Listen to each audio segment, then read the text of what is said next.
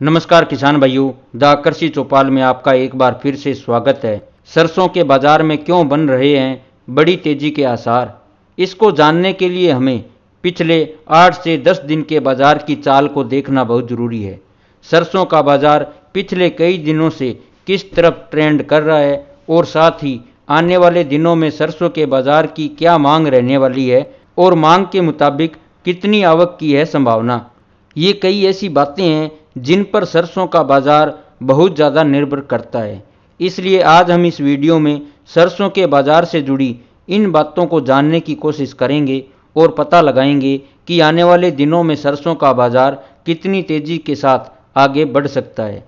इसलिए आप वीडियो को अंत तक पूरा देखें और वीडियो को लाइक और शेयर करके हमारा मनोबल ज़रूर बढ़ाएँ। आपकी मंडी में सरसों का बाज़ार आने वाले दिनों में कितना बढ़ सकता है? इसकी जानकारी के लिए आप अपनी मंडी का नाम हमें कमेंट करके ज़रूर बताएँ। यदि आप पहली बार हमारा वीडियो देख रहे हैं तो लाल रंग का बटन दबाकर चैनल को सब्सक्राइब कर लें और पास के घंटी के निशान को भी दबा लें। किसान भाइयों, सबसे पहले यदि हम पिछले आठ से दस दिन के सरसों के बाज़ार के ट्रेंड को देखें तो पिछले आठ दस दिन से सरसों का बाज़ार किसी दिन पचास से सौ रुपये डाउन हुआ है तो किसी दिन सौ से दो सौ रुपये तेज़ भी हुआ है। यानी कि बाज़ार में हल्की गिरावट और हल्की तेज़ी की स्थिति बनी हुई है। हालाँकि बाज़ार मांग में कोई खास गिरावट नहीं आई है, लेकिन सरसों के बाज़ार की बढ़ती मांग को कहीं न कहीं दबाने की कोशिश की जा रही है, ताकि सरसों के बाज़ार भाव को ऊपर जाने से रोका जा सके।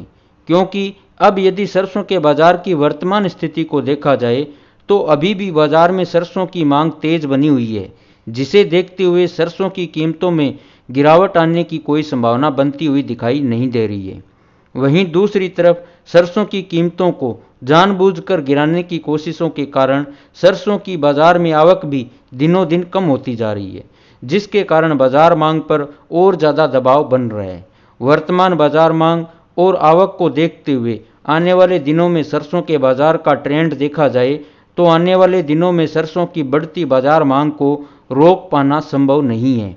और इसके दबाव के चलते सरसों के बाज़ार में बड़ी तेज़ी की संभावनाएँ लगातार बढ़ती जा रही है, क्योंकि बाज़ार में सरसों की आवक बहुत कम हो गई है और आने वाले दिनों में भी यदि बाज़ार की यही स्थिति रहती है तो सरसों का बाज़ार 500 से 700 रुपए तक की तेज़ी के साथ कारोबार कर सकता है।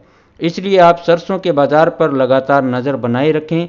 हम भी आपको आने वाले दिनों में सरसों के बाज़ार का ताज़ा अपडेट समय समय पर देते रहने की कोशिश करते रहेंगे।